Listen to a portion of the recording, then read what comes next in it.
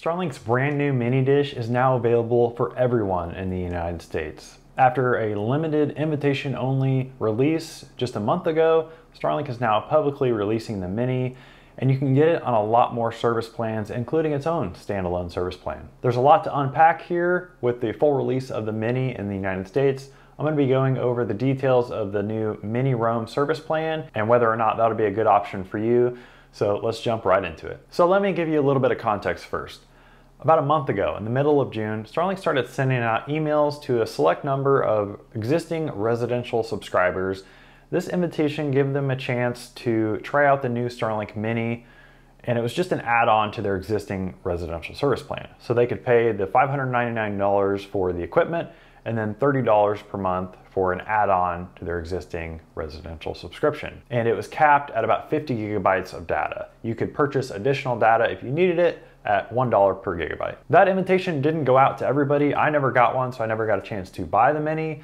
But now everything has changed. The Mini is now available to everyone in the United States, and you can get it on multiple different service plans. You can choose from one of four different service plan options for the Mini, and one of them is for the Mini alone. You can't get it with any other dish. So for the full release, the Mini is still the same price as the invite-only release. It is $599 no matter which service plan you pair it with. And I'll get into the pricing and how it's kind of absurd and doesn't make a lot of sense to me. I'll get into all that a little bit later in the video. First, I want to talk about the service plan options though. You'll be able to pair the Mini with one of four different service plans.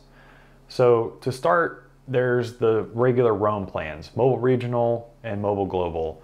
Mobile regional is $150 per month. That's the normal you know, mobile plan.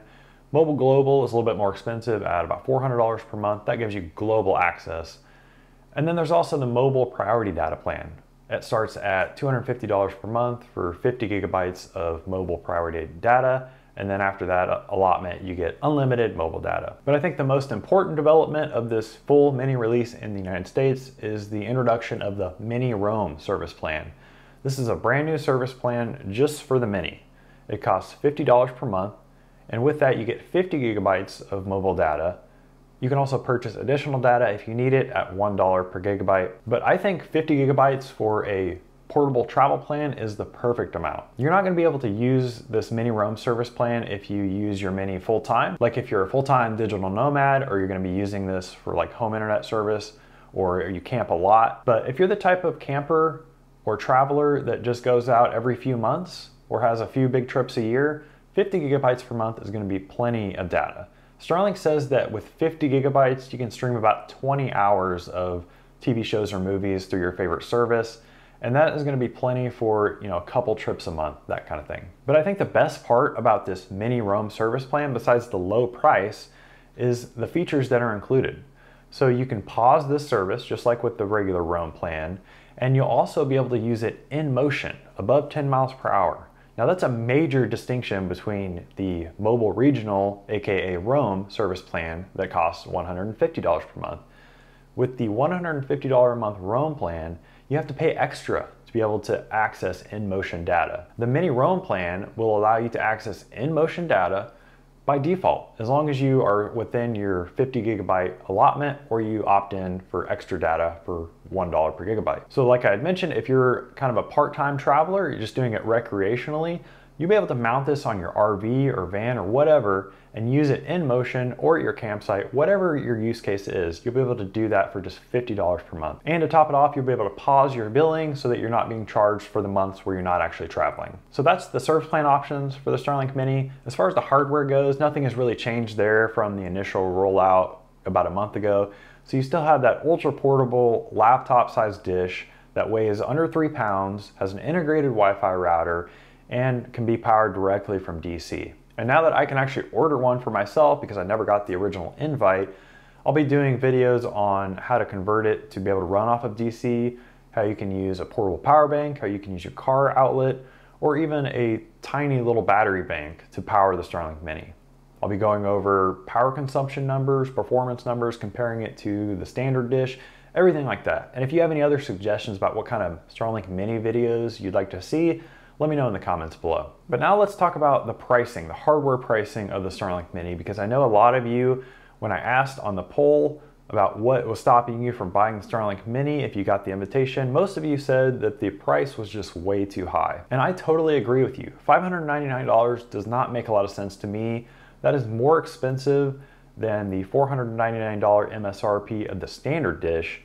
And the Mini is essentially just a stripped down version of that dish. It has a weaker router. It's Wi-Fi 5 on the Mini versus Wi-Fi 6 on the standard. It has a less powerful antenna, it's capable of lower speeds. So why does it cost more than the standard dish? Well, I think the answer is because Starlink really hasn't designed the Mini to be this ultimate travel accessory. What they've really done with the Mini is created a super budget, super affordable dish that they can launch in developing markets where affordability is a key factor. And we already see evidence of that because the Mini has been released in several Latin American countries for example, in Colombia, you can buy the Starlink Mini for just $200 USD and put it on a service plan for residential use that only costs $35 a month. It's their super affordable dish that they're going to be using to expand in developing markets and grow their subscriber base to be able to offer their, you know, their ultimate mission, which is expanding the access to affordable, high-speed, low-latency internet that is actually reliable. And the other evidence of that is in the shop itself. So if you look at the accessories for Starlink in the shop for the Mini, you will not see any RV or van or portable use case accessories in there. You won't find any different charging adapters or vehicle mounts or anything like that. All that you find is roof mounts. And that may come as a surprise to a lot of people. I know it did me when I looked at it because, hey, I thought the Mini was a portable dish. Why aren't they offering portable accessories? Well, like I said, the Mini is not really their portable dish. It's just their super affordable entry level dish that they can use to launch into markets where the prices of the regular Starlink, like the standard, are just simply inaccessible for most people. So their ultimate goal is to use the Mini to break down that barrier of entry into high speed low latency satellite internet. And Starlink says in their support FAQs that the reason why they're charging more for the United States is because it's a high usage area. It places additional demand on the Starlink network in already congested areas. And they just want to be able to give people a chance to be an early adopter, but you're going to pay the price for that. You're going to pay more than it's actually really worth. And even though a lot of you said that the price was too high, tons of people are ordering this unit. I think especially now with the full release, we'll see thousands and thousands of orders. Based on social media, what I'm seeing, a lot of people are really excited about the Mini and plenty of people in the United States are willing to shell out the cash to be able to have that super compact dish. All right, so that's all I had for this video. The Starlink Mini is now here. It's available for everyone in the United States. Unfortunately, I don't have any information on the release timeline for other markets in the world. I know a lot of you are gonna ask, but Starlink simply doesn't tell us. They don't tell me. They don't have a PR person or a marketing person. They just simply roll it out whenever they want, and we have to check the website to be able to see when that happens. So make sure you are subscribed to the channel, and make sure you subscribe to our blog, starlinkhardware.com, if you want to stay up to date on the latest developments as they happen.